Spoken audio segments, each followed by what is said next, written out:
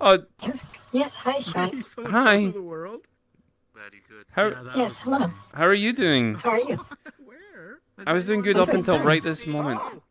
Oh, Whoa. Oh, what do you mean? Taking a show. Oh, sorry Put about on some clothes, Jimbo. Um, uh, you just Jimbo, you just stay out there. You just stay out there. Just gonna close the door here.